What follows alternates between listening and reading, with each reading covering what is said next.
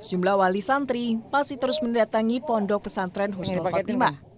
Mereka menjemput putra-putri mereka untuk pulang ke rumah masing-masing.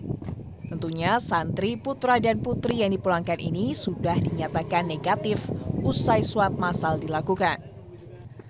Pemulangan para santri ini dilakukan secara bertahap dimulai pada 2 Oktober 2020 kemarin. Sebanyak sekitar 2.000 santri sudah dipulangkan dan mayoritas mereka berasal dari Jabodetabek dan beberapa wilayah di Pulau Jawa. Selain santri asal Pulau Jawa, sejumlah santri asal luar Pulau Jawa juga mulai dipulangkan. Sebagian dari mereka menggunakan jasa pengiriman barang untuk mengangkut barang-barang mereka. Dari hasil swab yang positif hingga Kamis pagi Oktober 2020 mencapai 412 orang dari sebelumnya 405 orang. Mereka terdiri dari santri putra-putri tenaga pengajar dan juga pegawai lainnya.